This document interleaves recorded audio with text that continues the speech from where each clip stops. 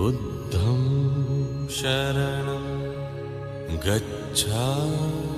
बुद्धं शरणं गच्छामि। बुद्धं शरणं गच्छामि। धम्मं शरणं गच्छामि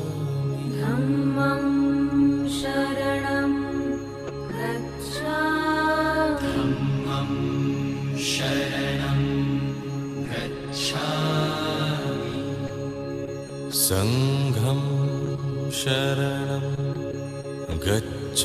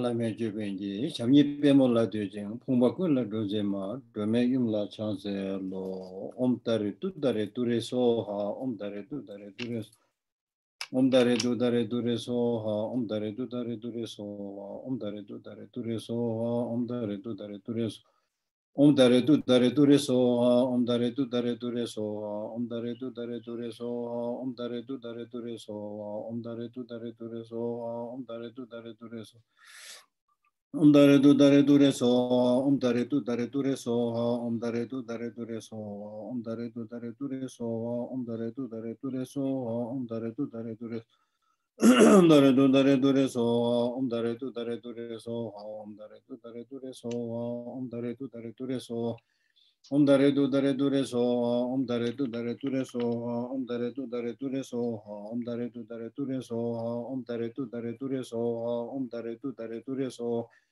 om dare do dare do re so om dare do dare do re so om dare do dare do re so om dare do dare do re so om dare do dare do re so om dare do dare do re so Om dare tu dare tu re so om dare tu dare tu re so om dare tu dare tu Om dare tu dare tu re so om dare tu dare tu re so om dare tu dare tu re so om dare tu dare tu re so om dare tu dare tu re so om dare tu dare tu re Om dare tu dare tu re so om dare tu dare tu re so om dare tu dare tu re om dare tu dare tu re om dare tu dare tu re om dare tu dare re Om dare du dare du re so, om dare du dare du re so, om dare du dare du re so, om dare du dare du re so, om dare du dare du re so, om dare du dare du re so. Om dare du dare du re so, om dare du dare du re so, om dare du dare du re so, om dare du dare du re so, om dare du dare du re so. Om dare du dare dure so, om dare du dare dure so, om dare du dare dure so, om dare du dare dure so, om dare du dare dure so, om dare du dare dure so, om dare du dare dure so. Om dare du dare dure so, om dare du dare dure so, om dare du dare dure so. Gewandi nyurdo da pama doma dujo nem dova chik yamalub. Hiye salang gu baray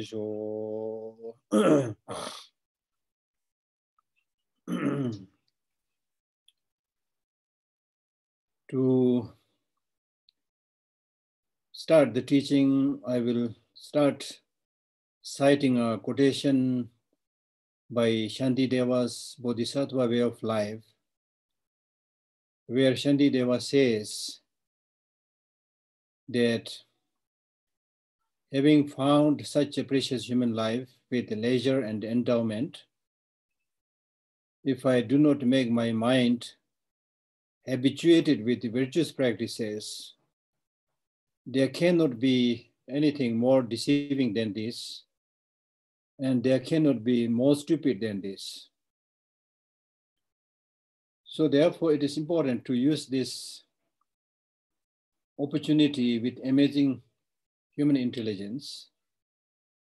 And this will naturally lead to the question how to do Dharma practice. And it is said that at the time of the Buddha, a celestial being or a deva asked four questions to the Buddha. The first question was by what one will know the Dharma? Second was by what means one can stop the negative deeds? Third question was by what means one will give away their meaninglessness? And the fourth one was by what means one can actualize the state beyond suffering or nirvana. So, to this, the Buddha answered by saying that by listening, one will know the Dharma. By listening, one can stop the negative deeds. By listening, one can stop meaningless activities. And by listening, one will transcend suffering. So, this answer, four answers to the four questions, is basically talking about the importance of the three trainings morality, concentration, and wisdom. By listening, one will know the Dharma. Means just by listening to the teaching is of great benefit. Because just by listening to the teach- teaching, even if you are unable to know the depth of the teaching, but just by listening to it, you will get some idea, some insight. So it's very, very important. And then second important thing is by listening, gradually you will understand the meaning and stop many negative deeds. Because the many negative deeds that we do are because of our lack of knowledge, because of our ignorance. So these first two lines is talking about practice of morality. So it is by practice of morality or ethical discipline that you will be able to stop the negative deeds. So mark this point by, by practicing or, or ad- adopting the moral deeds that you can stop the negative deeds, not just by listening. Listening and understanding what to practice and then practicing them and then refraining from the negative deeds.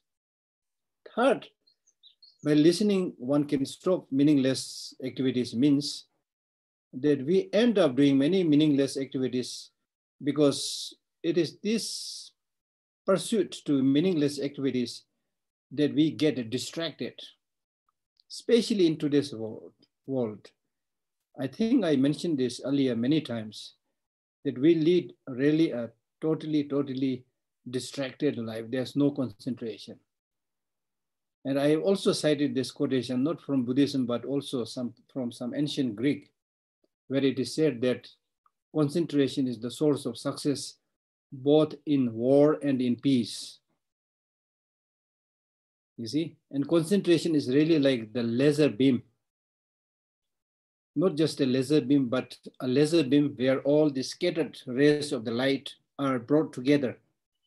And it is by bringing all the beams of the laser light together that it gets the power and energy to cut through the steel. If you let the you know the rays or the beams scattered, then individually they don't have that strength and capacity to cut through steel. But if you bring together, concentrate the rays and the beams together, you can cut through the, the laser beams can cut through the steel. So similarly, a mind concentrated can achieve anything. A distracted mind will not achieve anything. Today, in the modern world, there's so much distraction. Distraction, especially in the name of multitasking. you're able to do so many things, then people actually, you know, applaud it, saying that, oh, he's very good in doing this, doing that, you know. And then you let your monkey mind run wild. So you seem to be achieving a little bit here and there, but you're really not achieving the things that you must achieve. You see? So the problem is where we should concentrate, we are not concentrating. Areas where we should not be focusing on concentrating, we are concentrating. That's the problem in our life also. Too much focus to the external material world, to, to weapons, things like that.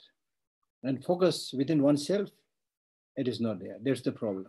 So therefore, it is by, by listening to the Dharma and understanding its teaching that you will be able to stop many of these useless activities.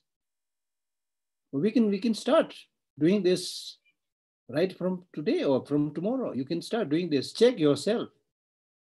Not just reading the text, but check.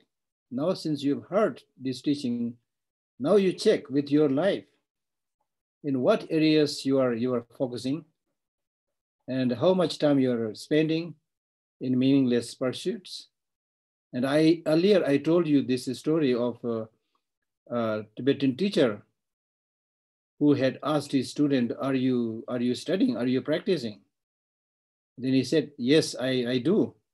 Then the teacher scolded him by saying, "Don't tell lie, because I see you getting distracted the whole day and sleeping the whole night. So where do you get the time to practice?" That's absolutely true. And for us as ordinary human beings, we spend much of the time in the pursuit of getting food. We pay so much attention to food and clothing and housing, and especially to the food. Okay? So it is in the pursuit of these material things that you spend a lot of time, you know, and in between, of course, you do many, many meaningless things. And what what you know, which of this is meaningless? As and you grow older and older, you will know. I've started knowing a little bit. And I've stopped, therefore, reading many meaningless books now. Because there's not much time to do good things, right? I've over the years accumulated so many books, so many books. And right from the beginning, I'm not so interested in reading fictional books, but I'm interested in reading the real, you know, life stories, real thing that happened. I used to read those books. And I especially is more interested in books on education or science and health and those kind of things. I'm not a great, you know, voracious reader, but I have that interest in that. But but over the year, you know, you also because these days, you know, for marketing, there's so many books in the market with very catchy and attractive titles, you know and then then you you expect and thinking that yes there is the solution in this book and you end up buying it and so i i do those things. So i've uh, over the you know years accumulated so many books. So my my my room is uh, actually uh, like a library you see. Now i've started like the cds the dvds you know you know the books you know. So so these days i'm i'm as much as possible trying to send them away by donating it to some bookshops or some other, you know, uh, places. So you need to start doing that cleaning up. Most of you are much younger than me. So if you start right from now, you know, get those things which you which you really need and not not many things, your life will also be simpler, easier, and you will actually learn much better than paying attention to so many things. So therefore, the, the third line is saying that achieve concentration. Now, when we talk about achieving concentration, I have said earlier, achieving concentration is not just being able to focus on one object. Even the practice of concentration or mindness, mindfulness can be used in wrong areas. Mindful practice is taught in US Army these days concentration is also taught. So how how how can like shoot the enemy with full concentration, with full mindfulness? So kind of meditation is needed there also. So therefore, here when we do talk about the, the Buddhist meditation, mindfulness, concentration, we are primarily talking about letting one's mind get habituated with these positive virtuous practices and get habituated with concentrating on what is really important. So concentration is not just being able to concentrate on one object, but primarily at the end of the day, to be able to concentrate in helping others.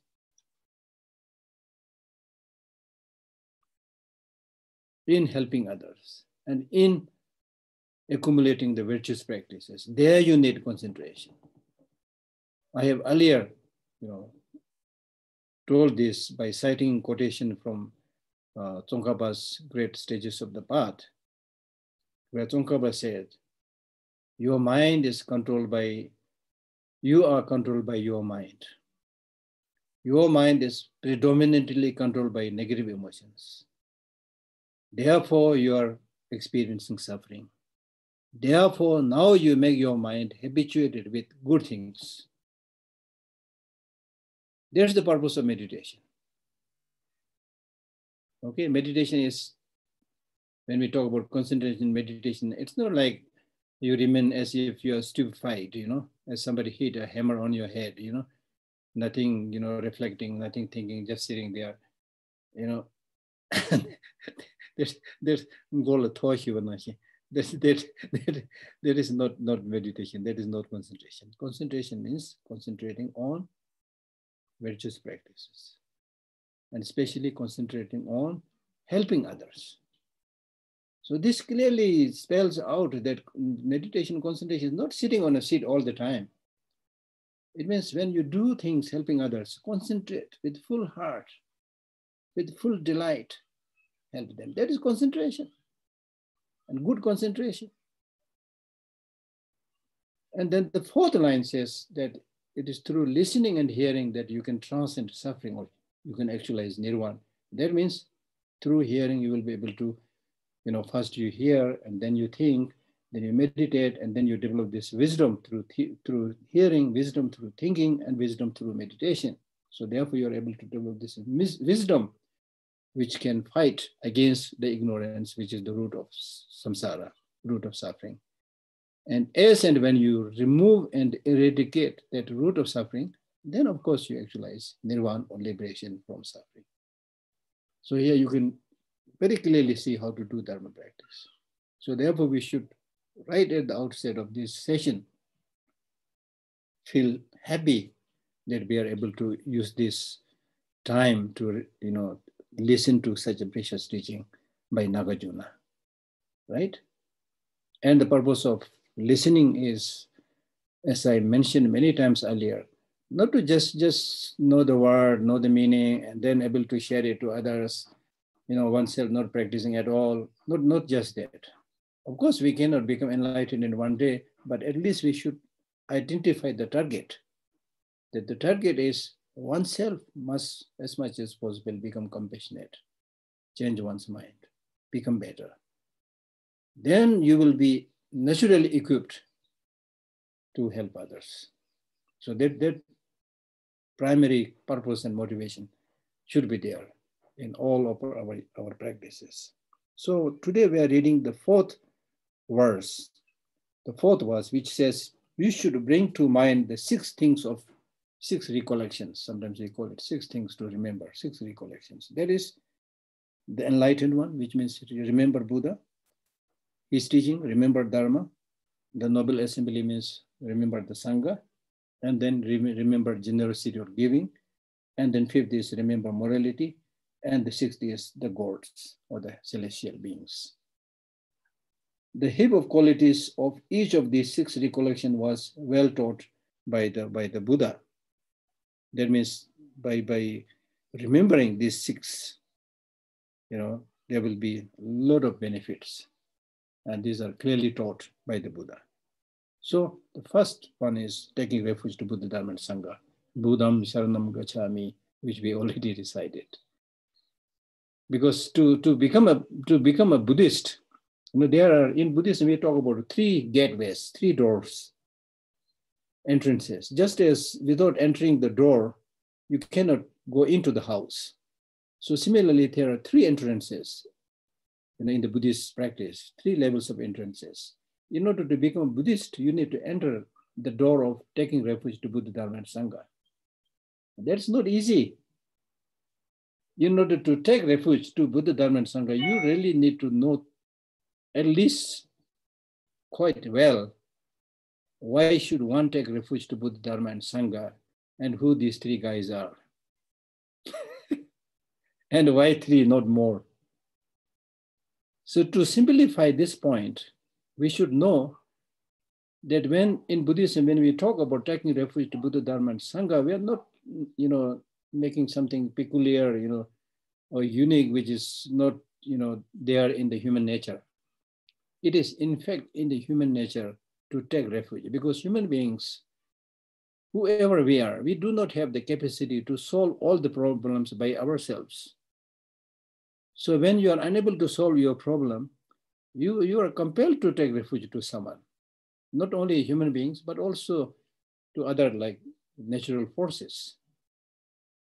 In, in many other religious traditions, there is this practice of worshiping the sun, worshiping the moon, worshiping the trees. All this came about because there are many calamities and problems, difficulties, people unable to solve it. And then people thought there must be God reciting the tree, God reciting the sun. So they started taking refuge, or even otherwise, since so much energy, you know, heat comes from the sun, gives so much, you know, uh, energy. So therefore, we take refuge to all those sources. That is there. So clearly, you know, we have this uh, in our nature to take refuge. And I, I have been jokingly telling people that uh, in the midday, 12 o'clock, you take refuge in your lunch when you're hungry. And uh, if you just sit there without, you know, taking food, you will starve. So naturally, you will you take refuge to the to the lunch. And if it is raining outside or it's very hot outside, then you take refuge in the umbrella. Long, long ago, men lived in the cave. They take refuge in the cave to protect themselves from ferocious wild animals. So it is in the human nature. Now the question here is, yes, that is true. I accept human beings are compelled to take you know, refuge in many things, but why we take refuge? Why we take refuge to the cave? Easy. Why we take refuge to umbrella when it's raining? Easy. I understood all this. But why we take refuge to Buddha, Dharma, and Sangha? That's the point. And who these three guys are, as I said. Okay. so, so now you know you need to know the fact that whenever we have a problem, then we take refuge. Okay. In Tibetan, we have a even a, it's not a joke, but in, in Tibet we have a saying that tang demon dulu ala thala So that means when you are you are traveling in a very you know uh, smooth road or plane, then you will sing beautiful songs. You don't take refuge. You, you, you never. You, there's no need for you to you know think about taking refuge to anybody because the the road is smooth and uh, you know there is no problem. So you start singing. You see, that's that's the meaning. nga tokbo le de la yin pe ma. But when you cross a cliff or a dangerous place then you remember the god and the guru pema sambhava and buddha and things like that right? So so therefore when we talk about taking refuge to the buddha dharma dharma sangha we need to know what is our problem. The problem is you know, many of the temporary problems can be solved by other people or from the nature, by food and things like that. But there are many other problems which these, you know, external, you know, material things can solve. So now here in this case, when we say I take refuge in Buddha Dharma Sangha, you are talking about a major problem, major difficulty. And that problem is being stuck in the samsara, being stuck in the cycle of existence under the bondage of this psychophysical aggregate. Okay? Fortunately, unfortunately, we, we don't give much thought about this bondage of the psychophysical aggregate, but if you think carefully, then you will realize, you know, we are prone to sickness, we are prone to separation from our dear and near ones, and then we, you know, so many problems, countless problems are there. And all these countless problems are there because, because the body, the psychophysical aggregate that you, you got itself is in the nature that it is fragile. On top of the fact that the psychophysical aggregate is fragile, but you also don't know how to handle it carefully, how to nurture it. So there's a kind of double problem, you see. So therefore, in order to get out of this cycle of existence, okay, you need to take refuge. So the main problem of your having stuck in the samsara is ignorance and negative emotions. And the way to cut asunder ignorance and negative emotions is taught by the Buddha, the enlightened beings. Not everybody knows about it. Some may have some sense, but they do not know. Sometimes people ask me this very funny question. Why, why, why, we, why do, we, do we have to study the teaching of the Buddha or any other great teacher? Why don't you find your path by yourself? This, this is a question people very often ask. Then I tell them, yeah, if you are very intelligent, maybe you can find it. But it's quite difficult. It will be quite difficult. I'll give you an example. For example, if you want to fly to America, okay, New York or wherever, and then if you say, oh, I'm going to go to New York without consulting anybody, the travel agent, the guide or roadmap, whatever, you know, without any, how, how will you go? You have no sense of direction. How will you go? you will not be able to even ask the pertinent questions. So it's impossible. Impossible, right? And if you if you just just you know uh, lam tham tom lam tum lam tham tom ji dibu tham tom ma to minjung there's this funny you know word Tibetan word which says if you choose a path which is like dark and unclear you will also get a fruit which is dark and unclear you know or if you go by a path which is full of doubt, the fruit will also be full of doubt. You know, there's, there, there will be no clear-cut achievement. So therefore, and I had mentioned this earlier, that even in this life, there are many things that we, we learn from other people, which we can actually see with our eye, like carpentry. There also we need somebody to teach you, computer or things like which we can see. Now, when we talk about engaging in spiritual practice, we are talking about internal experiences which you cannot see with your eye. And especially, you know, when, when you talk about achieving nirvana, enlightenment, and benefits in the future lives, we really have no clue, no much idea. So unless you depend on someone, somebody who has that knowledge, who has that qualification, and in fact, complete knowledge, we cannot, you know, get that needed help. So therefore, we take refuge in somebody who is completely enlightened, Buddha. And Dharma means what he has taught, and Sangha means those who follow that path, briefly speaking. So these three. So the question is, why just three? Make it more so that we feel more supported. Maybe like,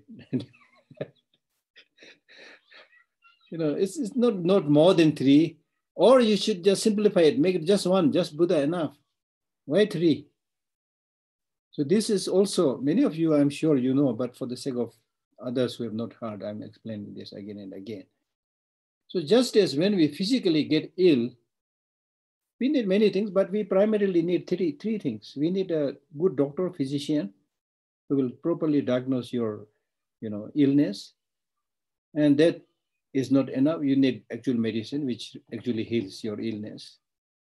And even if you have the medicine and good doctor, but nobody supporting you, because here in this case, your illness may be very severe, chronic illness, and you are bedridden, then it is a must that you have your brothers, sisters, or nurses, or whoever, you know, you know, by your side to help you. So you need these three things when, our, when we are physically extremely ill. So similarly, when we are mentally ill, and we are, of course, mentally ill, if anger is not illness, then what do you mean by illness? If hatred is not illness, then what, what, what is illness? So the very definition is illness, definition of illness is fulfilled by all these negative emotions, anger, jealousy, hatred, you know, and the worst kind of pandemic actually. This virus, you know, menacing virus pandemic which we are confronting right now, of course, is a pandemic, very bad, very destructive. But at least there is an injection and there are some some kind of treatments, right? So it's quite hopeful now things will change. You know, in many countries, like things have really, really improved. But what about this pandemic inside us, the negative emotions, the hatred, the jealousy, the anger, which is not coming from any virus from outside? It's there with you inside. So how can you sleep with these negative emotions? Seriously speaking, it's something like that, you know. And now if you think, because we are very clever, so if we think, okay, Buddha's teachings are wrong, you know, we are living in the modern advanced age, so anger is important, jealousy is important, go ahead, enjoy.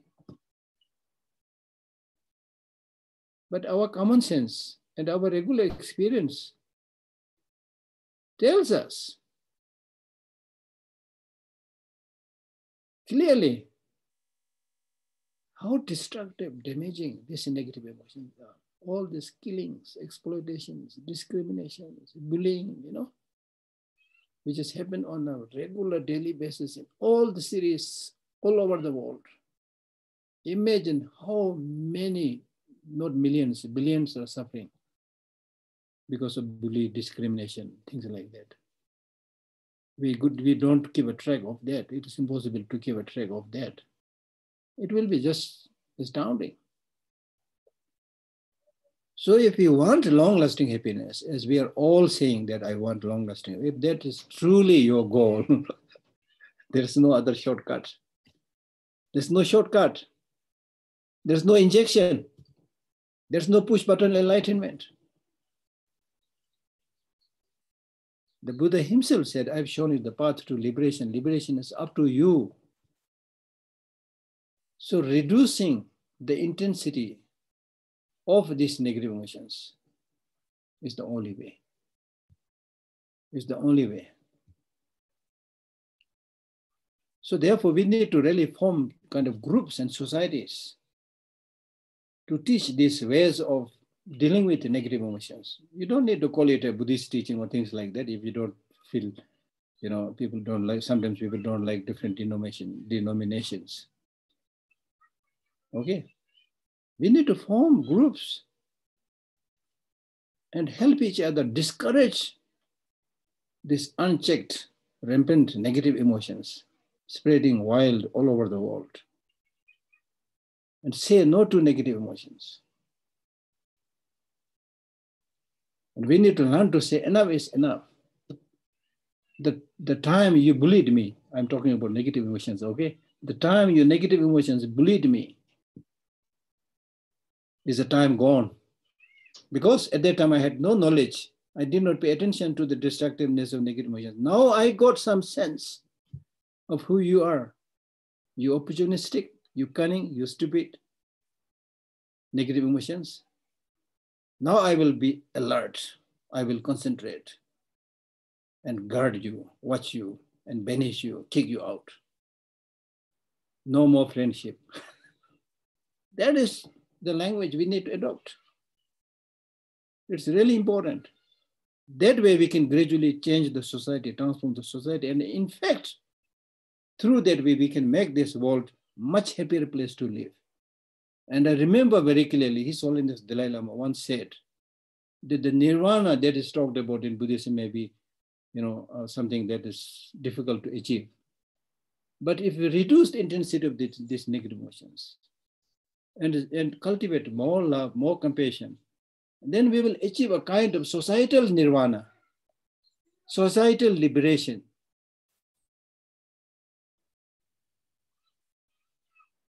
I told this, shared this experience earlier. Some of you may have heard. When I was many years back, when I was working in Tibet House in New Delhi, there's this Indian gentleman who asked me to, you know, teach him Buddhism. So every evening we used to sit together and he would, I would teach a little bit, he would ask questions, things like that. So one day he said, since you have been studying Buddhism for a number of years and you're also monk, you, you must be highly realized. now I'm in trouble, okay? so then I, you know, then I said, I, I need to, I, I could not give an answer quickly because I don't have that kind of very visible, big, you know, quantum jump kind of real, realization. So I had to think a little bit. Then I answered him by saying, okay, when you ask me whether I have any realization, you're asking this question from the point of view whether I have the capacity to fly or make myself invisible or open a third eye, which Lobsang Rampa guy called Lobsang Rampa claimed. so if you are asking these things, I have none. But in fact, in Buddhism, when we talk about realization, in Buddhism, it hardly talks about being able to fly. That's not that that is good. It's a great feat, but nothing so unique. Birds are flying all the time. Now, even you know, with human intelligence, aeroplanes are flying. You know, but that doesn't minimize human misery, human problem, right? So, so real realization means real attainment or accomplishment means when you reduce the intensity of your negative emotions. And I sometimes call it magic. We are so controlled, we are, we are so used to with negative emotions. It really looks like, you know, it's difficult for me to part away from this negative emotions. They are part of me kind of feeling. There is a there is a book written by one of the Panchen Lamas of a dialogue and discussion, in fact, a debate between the self-grasping, self-cherishing attitude and bodhicitta, the mind cherishing other beings. So the self-grasping has many points to defend self. You know, it's self-grasping by which I have been taking care of you, by which I've been taking care of my family, you know, things like So that is how we think, you see. Right? But then if you think calmly and properly, then you will find how destructive these negative emotions are. So therefore, in order to, you know, remove these negative emotions, we need to follow a proper path taught by somebody who had gone through this path, removed all the negative emotions. And we call that person Buddha, one who is completely enlightened. Okay, I can hear you can ask many questions. Okay, questions, there will be endless questions. How can we believe there is somebody who knows everything? These are big questions, not easy to answer. But at least you, you don't need to, you know, overreach. You know, sometimes without knowing the basic thing and practicing the basic thing which makes sense, we are fond of asking big questions, you see. You have every liberty and freedom to ask those big questions, but it's really not very useful. It's really like trying to overreach things. You know, you remember this, the the the arrow incidents. Many of you heard it. You know, somebody shot an arrow to somebody from a distance. He was he was got stuck with that arrow and bleeding. It's a very famous parable. And uh, so this, this, the Buddha told this parable because one of his students, a monk, Malukya by name, one day, you know, early morning, he was in his meditation heart, but something came in his mind, thinking that, you know, Buddha has been very kind to me. He taught many things, but there are many things that he did not answer. So I need to go and ask him these questions. If he answers, then fine. If he doesn't answer or could not answer, then probably I'll choose the other path or things like that. So he, you know, in a, in a hurry, he goes to the Buddha and asks these questions. And Buddha, the first Buddha said, oh, I'm, I'm not looking for students. You want to live, you live kind of, you know, a kind of little bit uh, blunt kind of answer. But then he give answer by giving, telling this parable that there is a person who has been shot by an arrow and he's struck by the arrow and he's bleeding. So now at that time, what should you do? What, what, what, what should that person who is struck with this arrow and bleeding should do?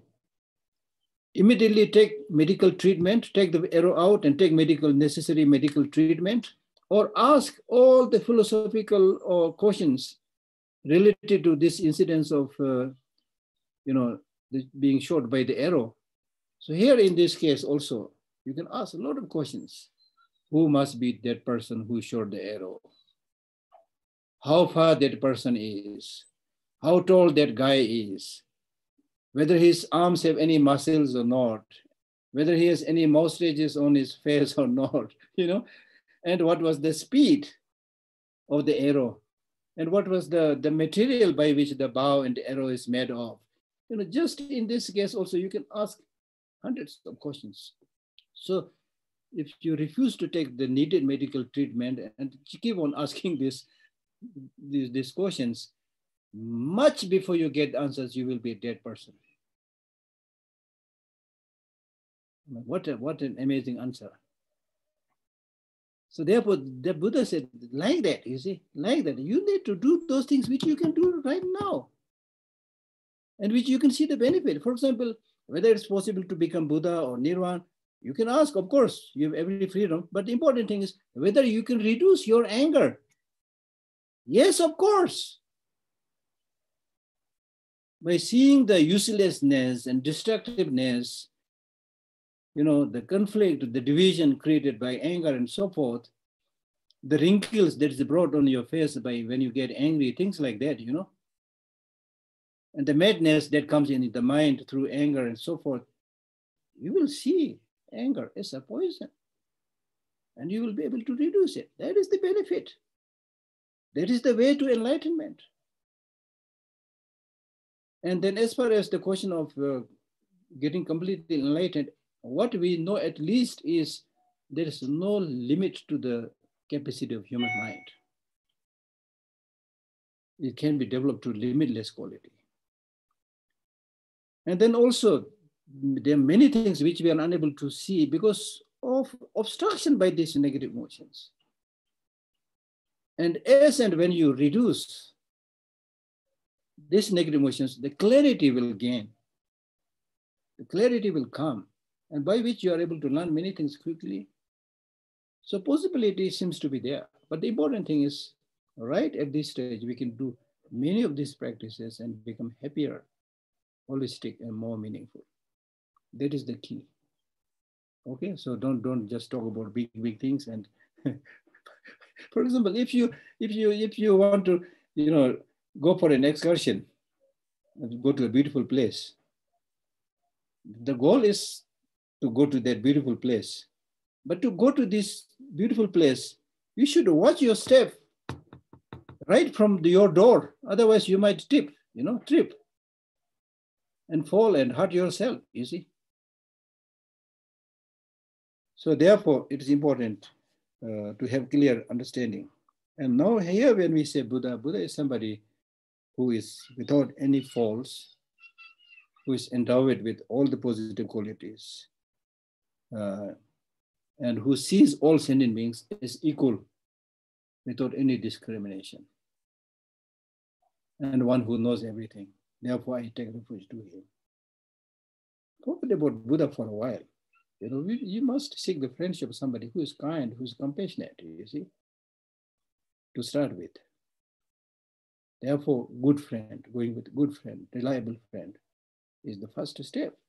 So therefore, Sangha. So Dharma basically means the path taught by the Buddha and the cessation, nirvana that you achieve these two are the Dharma, not the, not the text. Text is something like artificial Dharma. And then also Sangha, normally for the, for the monks we say Sangha, but ordinary monks are actually not Sangha, which is within the three objects of refuge. The Sangha within the three objects of refuge, for example, Buddha is a Sangha. Or, or all those other practitioners, monk or layman or laywoman, doesn't matter. But so all those practitioners who have achieved the path of seeing, who have realized emptiness directly, those are Sangha. Those are Sangha. So the ordinary monks are something like artificial or imputed Sangha. Okay. So we need to know this. So now here in this case, in the Buddhist practice, the main reason why we take refuge to Buddha, Dharma, and Sangha is we want to get out of this samsara, remove the ignorance, and achieve liberation, nirvana. So therefore, as I mentioned earlier, when we talk about doing Buddhist practice, we are primarily talking about doing those practices which will lead you to achieve that state of liberation. That makes Buddhist practice unique. There, there in today's world, there are many people who, who, who refrain from killing. Wonderful. Even, even not, not participating in doing the 10 you know, negative practices. There may be many, which is good, of course. But they are, they are not aiming there to achieve liberation. So there's a difference. So here we take refuge Buddha Dharma Sangha to achieve liberation. So they are the, the object of refuge that can help us to achieve liberation. So therefore, as much as possible, in terms of your practice, you need to recite every day, if possible, many times, if not at least few times. This recite this this this words. I take refuge to Buddha, Dharma, and Sangha until I become enlightened. Through my practice of giving and so forth, may I achieve Buddhahood for the sake of all sentient beings. So in this way, you take refuge and also you take cultivate bodhicitta. That must be there. And in fact, because of the power of the Buddha, Dharma, and Sangha, just by regularly taking refuge, it is said to be the source of success for many of things that you, you do, or you know, less illness, less sickness. So many benefits are being explained, provided if we have the wholehearted trust. Because from the side of the Buddha, he has, he has gained all the needed qualities to help you. He's ready to help you. He's like the sun. The sun never says, I will shine on this place, on that place, not on this place, not on that. Never makes a discrimination. But if you build your house in such a way that your doors and windows are improperly constructed, and then the rays of the sun, the light of the sun can never come. So it is your mistake, not the mistake of the sun. So similarly, from Buddha's side, everything is ready. From our side, we should have that receptivity. It's like the hook. It's like the hook and uh, hook and the ring. The hook is there, but you should have that ring, which is your faith. Okay. So, so therefore, but you need to read more about this. I, I can't spend so much time just explaining about this. So, so there, luckily, there are so many texts about the qualities of the Buddha, Dharma, and Sangha, things like that. Please read. So, the, the six recollections that we are talking about here in this verse is actually an instruction that Nagarjuna gives for the benefit of both the, both the ordained monks and nuns and also lay people, a common practice. Okay, so for everybody taking refuge to Buddha, Dharma, and Sangha. Now he's giving this teaching to, to Buddhist audience, of course, in those days. Okay, so therefore, taking refuge to Buddha, Dharma, and Sangha. Okay. Now, if you take refuge in Buddha, Dharma, Sangha, then you need to see Buddha, Dharma, Sangha as the ultimate liberator. You have to have that faith. Okay. But if you if your faith is like, you know, two pointed,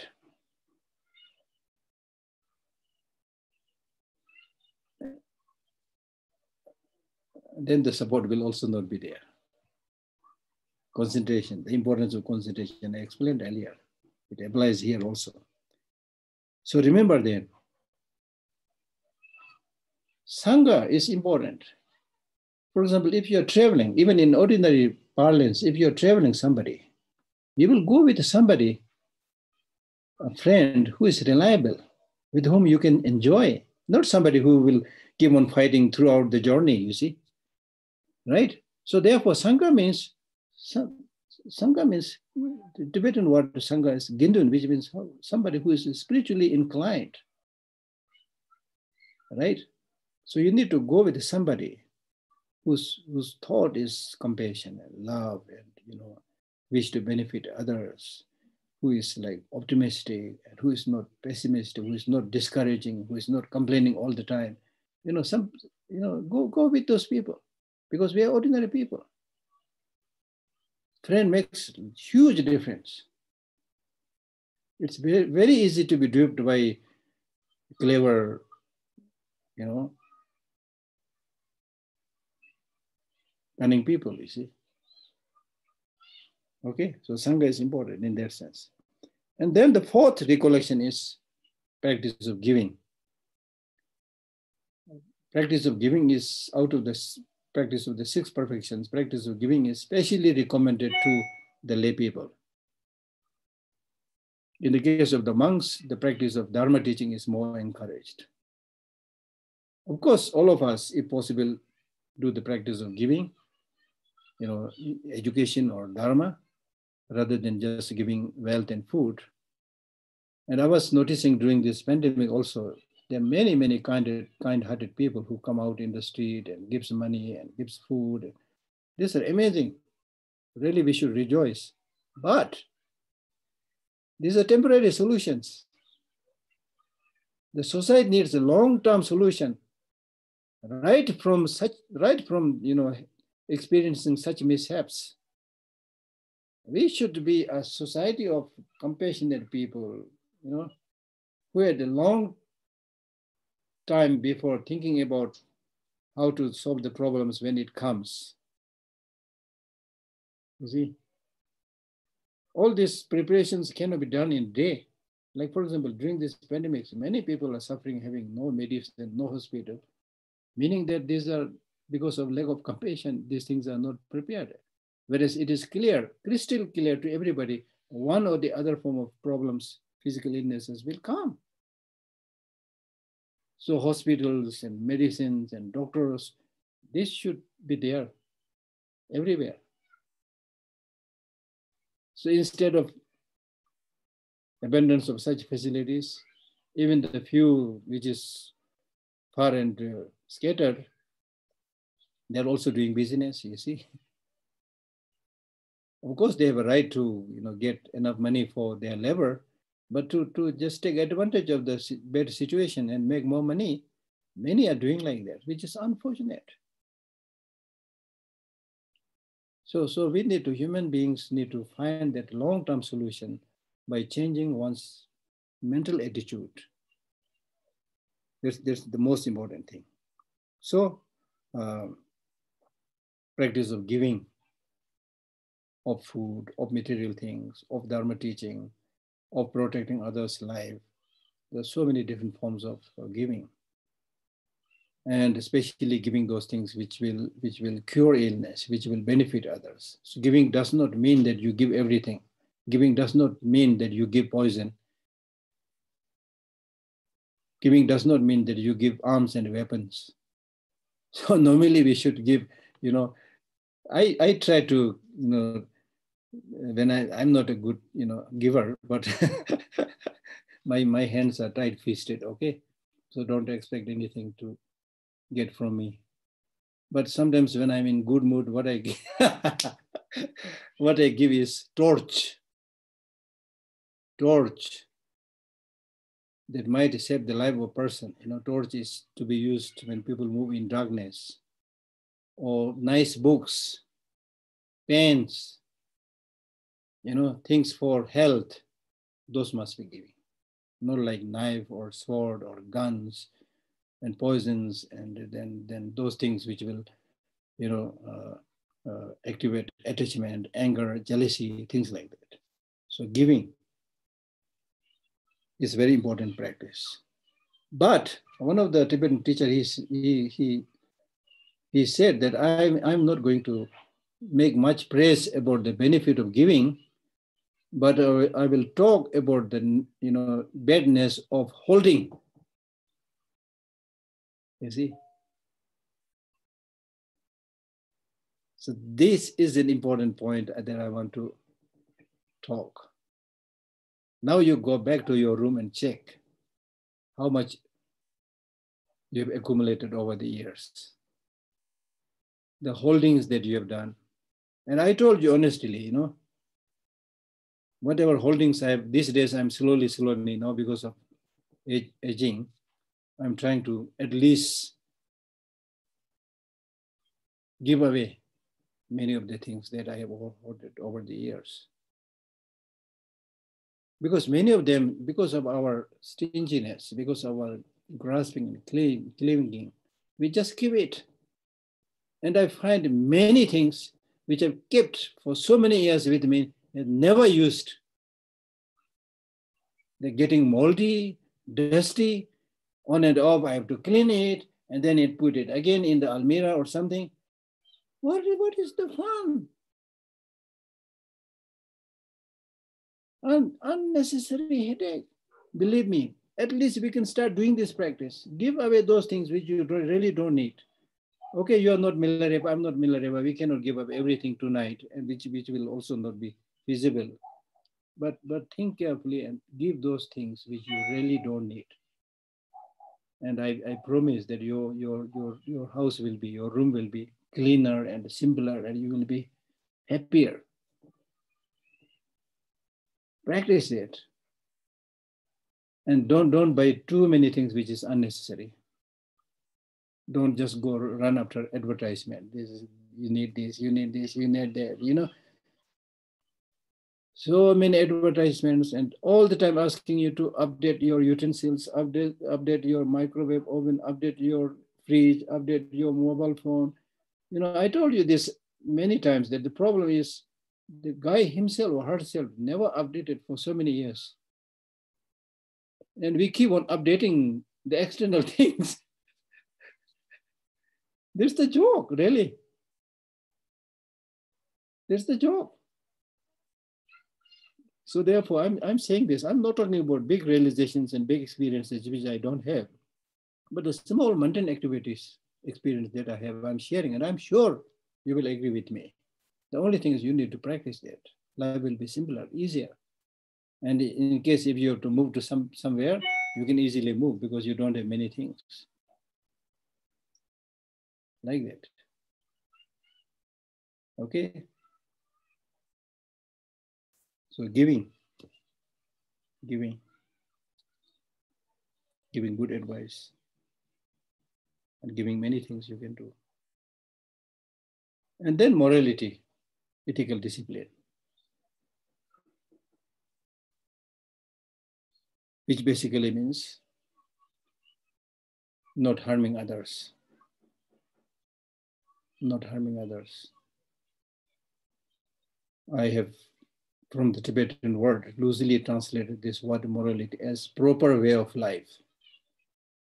Morality means proper way of life. Proper way of a life is a life where you do not harm others, where you do not take advantage of others, where you do not cheat others. That's proper way of life. And what is proper, improper? Just think about yourself. Take yourself as an example. How would you like to be treated by others and things like that? Okay. So that's morality. And then the sixth is recollection of celestial beings. Celestial beings or gods are also in the samsara. So why should we remember that? We might ask this question. But here we are thinking about the, the celestial beings. They also have very special qualities of concentration and things like that, which, which is achieved through many positive practices like wisdom, concentration, so forth. So just like what is attained by these celestial beings, I should also practice those courses which leads to such an, such an achievement. So there's the meaning of recollection of celestial beings or gods. And especially if you enter into tantric practice, then visualizing the deities is a very important practice. So there the deity is again a higher kind of you know, being. Okay, tantric deities, when we talk about tantric deities. So these are the six recollections. So we need to, uh, to start with, we need to start doing those practices. Okay, I'm sorry. Time just, just flies. I managed to finish just one verse. Anyways, don't don't worry. Sometimes I will be galloping. Sometimes I will be trotting. okay, ask one or two questions, then we then we'll stop. So thank you so much. Now, now some questions, please. And I'll give preference to those who raise their hands and ask questions themselves. I'm so sorry. I do believe in justice. Mm. so please raise your hands and let me spot you.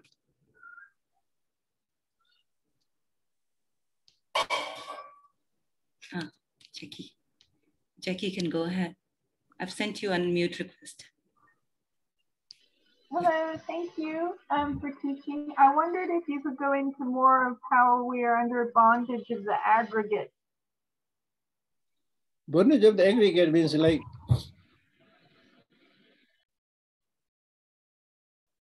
the, the, the, the physical, psychophysical aggregate, as I said, when we talk about aggregate, it's both the body and the mind. Mind, of course, is under bondage because it's predominantly controlled by negative emotions. Now, the body also is predominantly controlled by your mind to, to a great extent. And the, the body itself is like prone to sickness, prone to aging. And if you sit for a meditation, your knees start hurting, your back starts hurting, you feel sleepy. so there, your, your, your body in that sense is not very functionable, not very serviceable, right?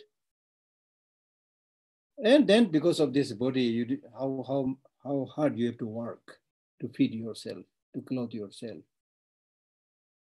We all run hither and thither. This business, that business, you know, work almost like a donkey. I'm not using a good word, but right? Just for this body. So, so the, the, the point is that if you simply just, just, just become a slave to this body, there's not much meaning. Therefore, Shantideva says, mi thula ten mi eh, thula ten ne dungne chubu chile to to the chi su nge bar ka mongo de su nge ma lo that means this human body is like a boat to cross the ocean. So in that sense it is useful if you use it to cross the ocean of samsara. So in that sense such a precious human life is difficult to find with with such wonderful intelligence. So if you use it then it's wonderful. You can cross the ocean of samsara. So therefore, Shantideva says that you stupid, this is not, the time to sleep. that means wake up, realize this, this amazing potential that you have. So if you use it, it's precious human life. Use it in the right way. But if you let it just to, you know, meaningless activities, then you're wasting the precious human life. Okay. I probably I told you earlier. Now I don't remember the details. I was once reading a book where somebody, a clever scientist, he he tried to find out how much dollars this human body will cost. So in terms of the body itself, it will cost few few thousands. Not much, because most of the stuffs are, you know, you can buy in the market. The chemicals, you know, many of these things, things you can buy in the market. But still you cannot make, just from these material products, you cannot create a human being because of this thing called mind. Okay. The scientists are also, until now, they are not able to create human beings. They are talking about cloning and all those things, but I don't think they are successful in creating a genuine human being. Okay, duplicate human being, yes, you can make. We are very good in making duplicates. But there's not human being, proper human being. A proper human being, we cannot create. Okay. Lasso. Thanks. Uh, thank you, Geshe-la. We have uh, another person, Rugare. You can go ahead. I- I'm sending you on mute request. Great, thank you, everyone. Hello, Geshe-la, thank you for the teaching. So the question is, knowing that ignorance is the root of samsara, but needing to, you know, get good teaching from good teachers. How does one do that with good discernment to find real teachers and real Sangha that's healthy? Take time. Listen to read books, listen to teacher. Take time, no need to rush.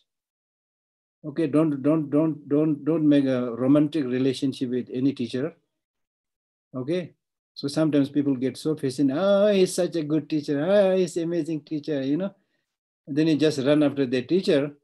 Then after a while, you see some faults and shortcomings. And, oh, I was cheated, you know. So don't do that.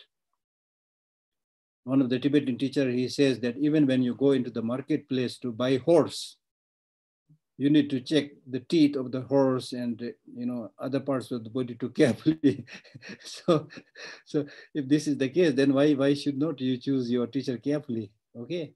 You can you carefully and then most important thing is use your common sense. How far this sounds beneficial to you. Okay? Then practice it.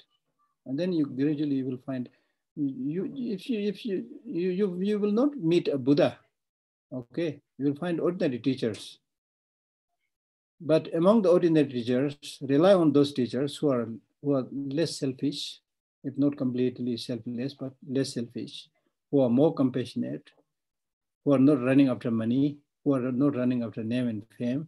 Okay, so teachers who run after money, who run after name and fame, there's a very negative sign. Because the real great teachers, they say, you won't get name and fame and money by running after it. Just by doing your job, whether it's a teacher or any, any ordinary person. And this I have seen very clearly. If you really want name and fame and money, do your job properly, it will come. It will come. You see? So without such realization, people just run after name and fame and then take advantage of others and tell lies, you know. Then then then don't don't follow those people. You have every right not to follow them. And then also maintain some distance between your teacher and yourself. With your friends also. Yes, mentally you may feel very close, but maintain always maintain some distance. It will be safer. I always give you the example of how, how to make relationship with fire. If you go too close, the fire will burn you if you stay too away from the fire, you will not get the warmth. Okay, so the distance should be such that it's not too far away, not too close. So therefore, the distance learning online online teaching is very good.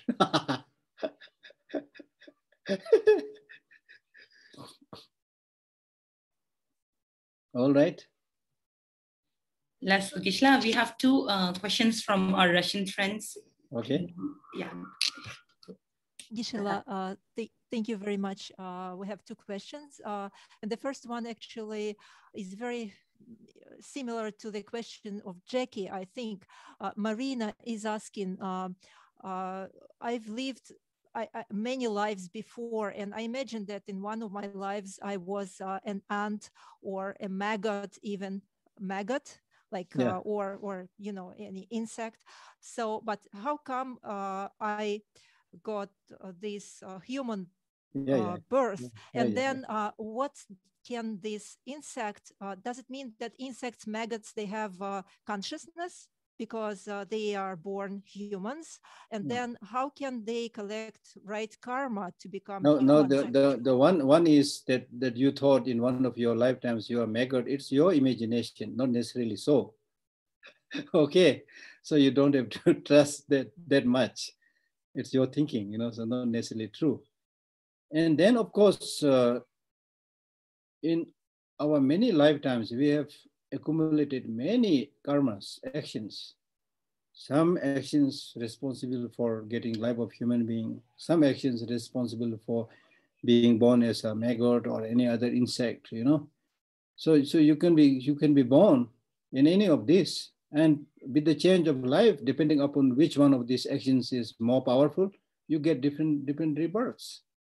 So therefore, sometimes you are born as human being, sometimes you are born as a an animal, sometimes it's a bird, insect, and things like that. So therefore, we are saying that today you born this, got this human life. Now you need to make this effort to be continuously born, not only as a human being, but become better and better. So that, that there is a kind of urgency here. You can clearly see because next time, you know, unless you are able to accumulate powerful karma to continuously get good rebirth, then next time it is not sure where you will be born. Right? Okay? Thank you. Uh, and uh, the next question is you mentioned about uh, the preciousness of giving, and uh, Irina and Oleg uh, is asking um, if uh, you know there there is a person who always says no when I ask for help, and then Mm. this person comes to me and asks for help, Mm. and my immediate reaction is to say no because I feel offensed, right? And uh, even if I uh, overcome this feeling, uh, I'm not sincere in my helping to this person, how to deal with this situation. Yeah, but when we practice, you know, it is not revenging anybody. Okay? Because somebody had not helped you, therefore you refuse to help. That is a kind of revenging. So, so that, that, that should not be there. Then otherwise, in, in terms of practice of giving also, it is never said in the Buddhist text that, that you give whatever you have or you give any, any time to anybody, not like that. There is a clear explanation about what to give, to whom to give, when to give, things like that. For example, if, if a monk is like not eating after lunch, then it's not proper to give, you know, dinner to that monk. Okay, things like that. Things like that. So if if if uh, poison is really really useful, helpful, then you can give it. Even medicine is discouraged to be given to someone who is not going to be benefited by that medicine. You know, so therefore, therefore you need to use your wisdom, intelligence, what to give, when to give, how to give, and so forth. Geshe-la, I- would like to clarify a little bit. Uh, uh, maybe I lost this little detail. And if if I help, I, I still help this person who refuses to help me, but I do it reluctantly, like remembering this uh, offense. Will it be the proper way of helping? It's not proper way, but it is better than not helping. Because because in, in, in the in the beginning, all of us have this reluctance to do any kind of practice. Those don't get surprised. Okay. But at least with reluctance, you have started giving. And next time it will be more forthcoming. See, this is how we get habituated with good things. Thank you. Isha, this one last question. May I please post that Okay, in sure, the sure. chat box? So we have Sharmila uh, requesting your advice on how to control anger. And uh, Sharmila states that it arises when you least expect it and it's very difficult. Difficult, yes, you said difficult, but you never said impossible. So there's the good thing. Difficult, everything is difficult. Earning food is difficult.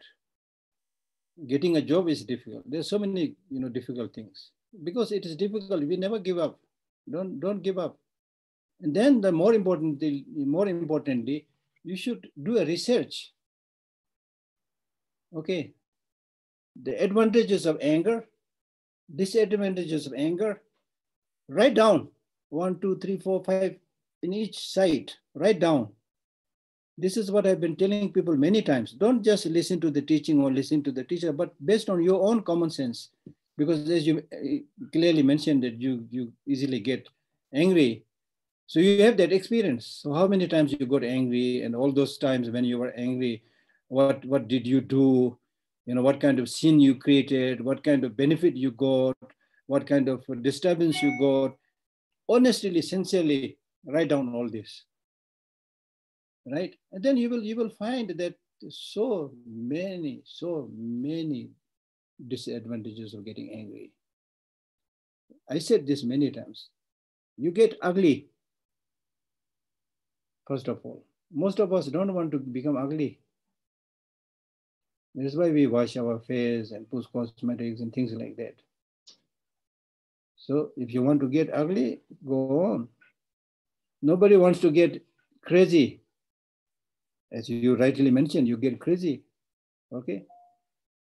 But then to to to answer your question more precisely, that yes, despite our during you know calm times, despite our being able to see the drawbacks of anger, but then when we encounter a particular situation, we immediately flare up. That happens to everybody. Not not something you know unique and uh, unique problem to you. It happens to everybody because we have we are used to it negative emotions for so many lives, so many years. Okay. Then after that, you need to see. The, the good thing is there's nobody who says, I'm angry 24 hours. Because that person who is normally very hot tempered and angry, he also needs his time to talk to some friends, you know, eat, eat his lunch and dinner, take a nap, things like that, you know. So nobody remains angry 24 hours. That means anger is not fundamental part of your mind. So we can reduce it. But many people start thinking that if I give up my anger, people will bully me. Then there will be no strength left in me to respond to them. That's how people think. That's wrong. Without anger, you can develop a force, a strength, which is much, much more forceful than anger. Anger is blind. Anger is blind. Yes, when you get angry, you get an extra energy, but that, that extra energy is essentially blind. So it is completely unsure whether it will hit the target or not. But when you develop this strength with calmness, with nonviolence, without anger, then that has wisdom, that has eye, that has insight, and will be able to deal effectively the problems and say things which should be said and will not say things which is not, not needed. But when we get angry, we, we say all that nasty things from the mouth because our sense of judgment is lost there. So in this way, you need to think many drawbacks and disadvantages of anger and the benefits of having no anger. Okay? That's so, Geshe-la. So we are truly very grateful, Geshe-la, and we will try to do as advised. Um, yeah, while we look forward to seeing you next week, yes. uh, we will end this session with our uh, Avalokiteshvara mantra uh, mm-hmm. led by Kishan. Yanje ma go kundo kar okay di on chim do. Di mani o di yanje ma go kundo kar do sa je je u la je. Tu je chen chen do la si che re se la so wa de.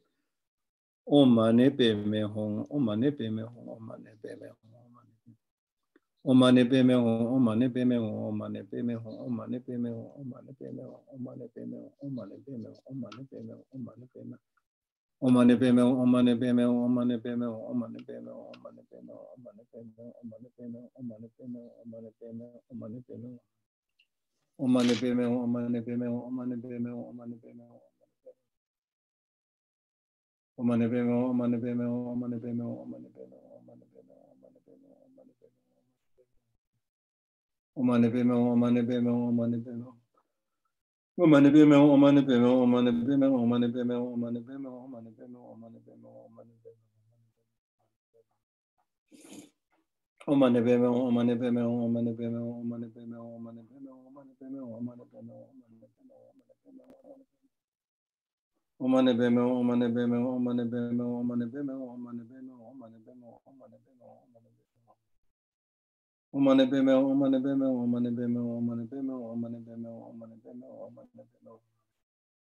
Omane beme, omane beme, omane beme, omane beme, omane beme, omane beme, omane beme, omane beme, omane beme. Omanebemeo, omanebemeo, omanebemeo, omanebemeo, omanebemeo, omanebemeo, omanebemeo, omanebemeo, omanebemeo, omanebemeo, omanebemeo. Omanebemeo, omanebemeo, omanebemeo, omanebemeo, omanebemeo, omanebemeo, omanebemeo. Omanebemeo, gewandi nyurdo da chere se wando kya nendo wa chikyam.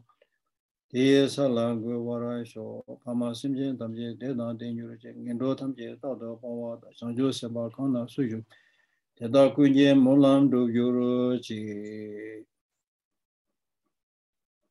Thank you.